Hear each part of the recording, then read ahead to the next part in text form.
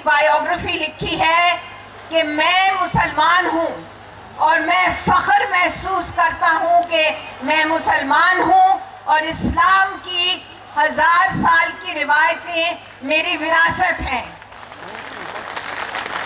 مگر اس کے ساتھ ساتھ میں فخر کرتا ہوں کہ میں اس ملک کی مٹی کا ایک ناگزیر حصہ ہوں۔ اور میرے بغیر اس ملک کی بناوٹ نامکمل ہے۔ یوں ہی ہمیشہ الجھتی رہی ہے ظلم سے خلق، نہ ان کی رسم رہی ہے، نہ اپنی ریت نہیں یوں ہی ہمیشہ کھلائے ہیں ہم نے آگ میں پھول۔ یوں ہی ہمیشہ کھلائے ہیں ہم نے آگ میں پھول۔ نہ ان کی ہار نہیں ہے، نہ اپنی جیت نہیں۔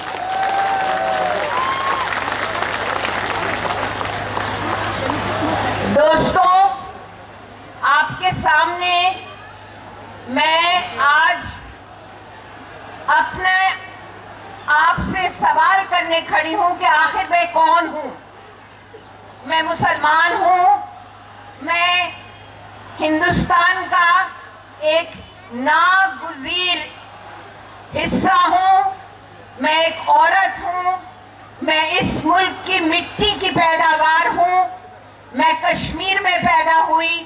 میں نے اپنا زندگی کا بیشتر حصہ اس شہر میں گزارا۔ مگر میں آخر ہوں کون؟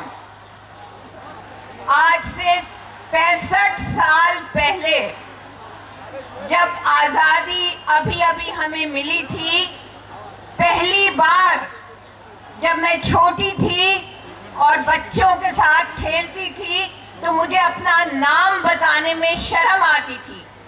کیونکہ مجھے پتا تھا اگر میں اپنا نام بتاؤں گی تو وہ بچے جو پارٹیشن کے بعد ایک زخم کھائے ہوئے ماں باپ کی گودوں میں پلے تھے، وہ مجھ سے کھیلنے سے انکار کر دیں گے۔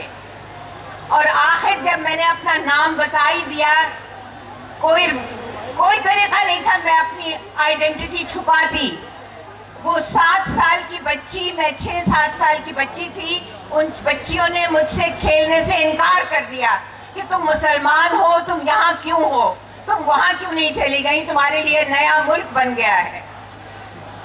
یہ زخم سات سال کی عمر میں میں نے پایا تھا اور اس کے بعد یہ اس ملک کی مٹی نے، اس ملک کے لوگوں نے میرے زخم کو بھر دیا۔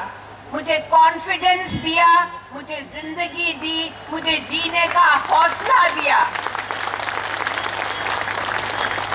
اور آج میں آپ کے سامنے کھڑی ہوں۔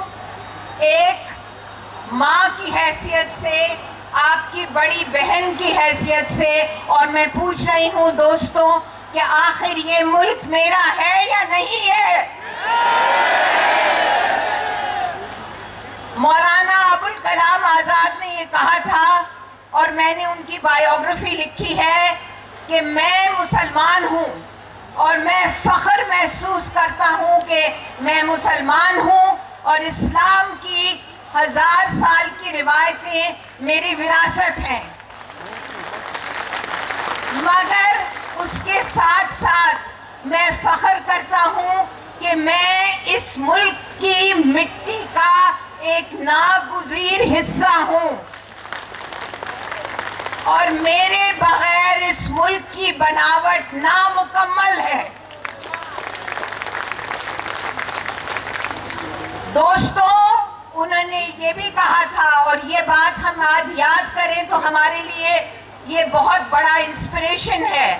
انہوں نے کہا تھا کہ اگر آسمان سے ایک فرشتہ اترے، آسمان کی بدلیوں سے ایک فرشتہ اترے اور مجھ سے پوچھے کہ تمہیں کیا چاہیے؟ تمہیں ہندو، مسلم، ایکتا چاہیے یا تمہیں سوراج چاہیے؟ تو میں یہ کہوں کہ اگر یہی مجھے یہی چوائس کرنی ہے تو میں ہندو، مسلم، ایکتا کو پریفرنس دوں گا۔ کیوں؟ اس لیے کہ اگر اگر سوراج ہم کو دیر سویر مل ہی جائے گا، مگر اگر ہندو، مسلم، ایکتا کو کچھ ہو گیا تو یہ انسانیت کا سب سے بڑا نقصان ہے۔ یہ انسانیت کا نقصان ہے اور میں انسانیت کا نقصان برداشت نہیں کر سکتا۔ یہ آپ کے ایک ایسے بڑے رہنما نے کہا تھا کہ جن کے لیے ہندو اور مسلمان ان کی آنکھوں کی دو پتلیاں تھے۔ ایک پتلی آنکھوں کی مسلمان اور دوسری آنکھ کی پتلی ہندو۔ دوستوں میں آج یہ کہنا چاہتی ہوں کہ پورے بین الاقوامی سطح پہ یعنی انٹرنیشنلائز پورے بین الاقوامی سطح پہ یہ سٹیزن شپ ایک ایکٹ کی مذمت ہو رہی ہے۔ پوری بین الاقوامی international the whole international community is talking against it آج بنگلہ دیش منسٹرز نے آنے سے انکار کر دیا ہے کہ وہ نہیں آئیں گے ہندوستان۔ دوستو، آج بنگلہ دیش کے ایک سفیر، ایک امبیسڈر یا ڈپٹی امبیسڈر کی گاڑی کو وینڈلائز کیا گیا آسام میں۔ کیوں؟ یہ کیا ہے؟ اس ملک کی کیوں اتنی بدنامی ہو رہی ہے پوری دنیا میں؟ کیوں ہو رہی ہے؟ یہ بدنامی اپنے آپ سے پوچھئے۔ کیا وجہ ہے کہ آج امریکہ جیسا ملک بھی مجبور ہو گیا ہے یہ کہنے کے لیے کہ یہ سٹیزن شپ ایک ایکٹ انسانیت کے خلاف ہے؟ سرکار اس پہ غور کرے۔ ایک ایسا ایک ایسا پریزیڈنٹ جس کا نام ٹرمپ ہے آج اس نے یہ کہہ دیا ہے کیونکہ اس پہ پورے امریکہ کے ڈیموکریٹس کا اتنا پریشر پڑا ہے کہ اس کو یہ کہنے سے، یہ کہنے سے اپنے آپ کو روک نہیں سکا۔ اور یہ بھی کہا ہے کنگریشنل کمیٹی نے کہ اس ملک کے ہوم منسٹر کا ویزا ضبط ہو جانا چاہیے۔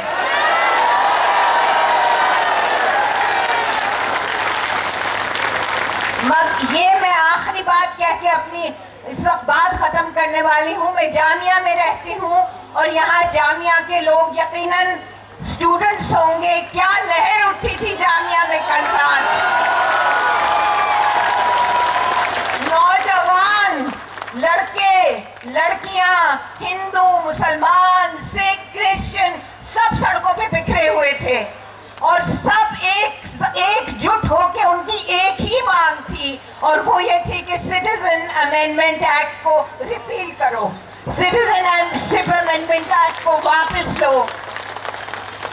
میں یہ میری ایک دعا ہے، بھگوان سے، اللہ سے، پروردگار سے، جس جو بھی، جس کا بھی جو بہت بڑا جو دعا کر سکتے ہیں، یہ دعا ہے میری۔ کہ یہ نان کوپریشن موومنٹ کی شروعات ہو۔ اسی پریشر کے تحت دوستوں میرے ینگ فرینڈز آپ سے جب یہ لہر اٹھے گی تو یہ دیش ایک نئے، اس کو نیا ڈائریکشن ملے گا۔ ابھی تک ہمارا چینل سبسکرائب نہیں کیا ہے تو سبسکرائب کریں اور گھنٹی کا بٹن بالکل بھی دبانا نہ بھولیں تاکہ سبھی لیٹسٹ خبریں پہنچ سکیں آپ پہ سب سے پہلے۔